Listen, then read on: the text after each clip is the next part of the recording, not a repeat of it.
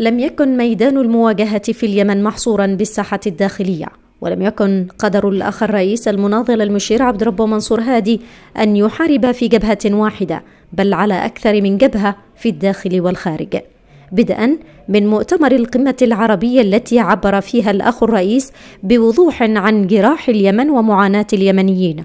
واستمرت الرحلات الميمونة لفخامته وكلها تثمر عن مزيد من الدعم لشرعية اليمن الدولة والشعب وحصار المتمردين الذين خانوا الله ورسوله وباعوا أنفسهم للشيطان. بان كيمون أمين عام الأمم المتحدة ومهندس السياسة الدولية لا مكان عنده للعواطف إنما يتعامل مع الحقائق وفي لقاء الأخ الرئيس به. كانت حجة المشير عبد ربه منصور هادي واضحة وضوح الشمس في رابعة النهار.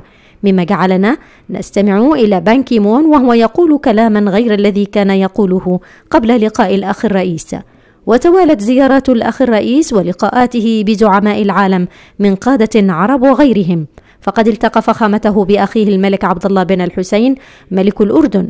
وكان لقاء مثمرا لتعزيز عرى العمل العربي المشترك بما يعود نفعه على الأمة العربية جمعا وليس على اليمن وحده.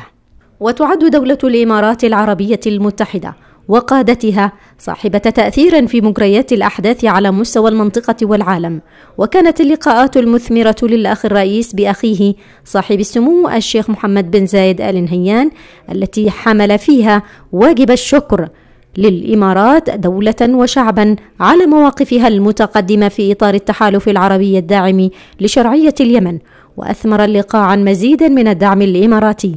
ذلك هو غيظ من فيض وقطرة من مطرة في مسيرة الجهود المباركة للمشير عبد ربه منصور هادي رئيس الجمهورية الذي اتسع قلبه لهموم أبناء شعبه ولم تشغله المؤامرات والعدوان عن أداء دور مكمل لدوره في قيادة المقاومة.